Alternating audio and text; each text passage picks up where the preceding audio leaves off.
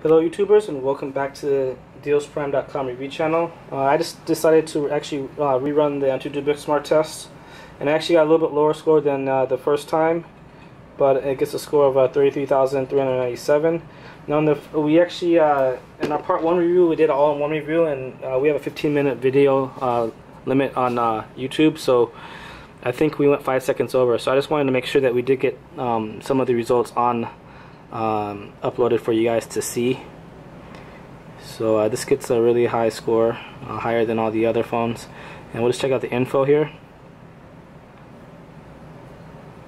So again, this is the MX4 and 20.7 uh, megapixel camera. Has an updated, uh, upgraded uh, 2560 by 1536 pixel, pixel resolution screen, uh, IPS Retina, and Gorilla Glass 3 gigabytes RAM and about 12 gigabytes free for the ROM. Exynos uh, 5 octa-core 5430 2 gigahertz CPU. And looks like there's actually more information. So to 32 bit.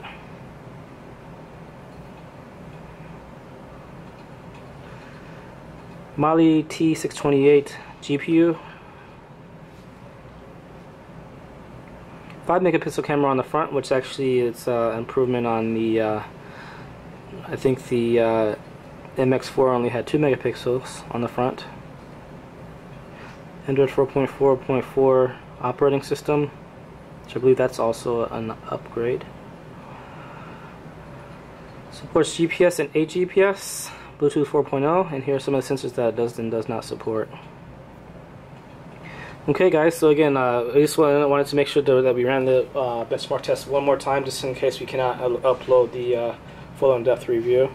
And uh, let's just show you the back of the unit. Here is the 20.7 uh, megapixel camera.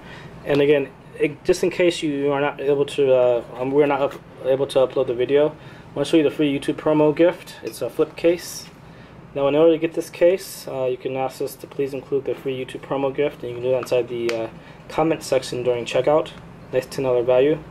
Now in order to see the comment section, just go to dealsprime.com, register site, register a site, log in, and then add this MX4 Pro to your cart, and you should see it during checkout. Okay guys, uh, thanks for watching.